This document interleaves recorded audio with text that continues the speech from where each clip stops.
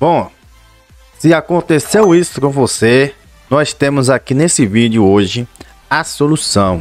Então, sem mais delonga, vamos para a solução do problema. Então, nós vamos agora, galera, em acessar o a Google a Google Drive, né? Como vocês viram, o problema aqui está escrito acesso a documento 04, documento foi negado, coisa assim, né?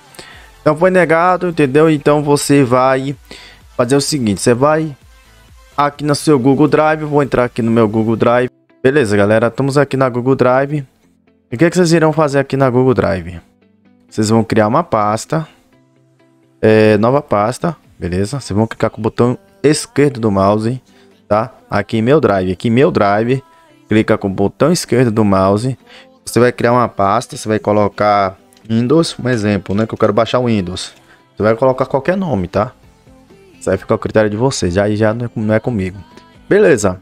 Aí você vai lá no arquivo que deu erro, tá vendo esse arquivo aqui deu erro?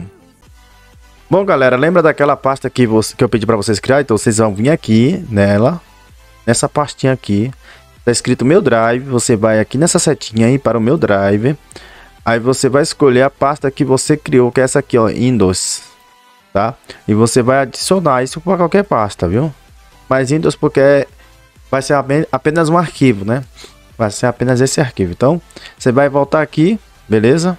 E você vai em meu drive mesmo, tá? Ou aqui mesmo na pasta, né? Aqui, ó. Você já vai em fazer download. Quando você fizer isso, ele vai, ele vai compactar o arquivo. No processo de compactar o arquivo, ele vai dar a opção de download, tá certo?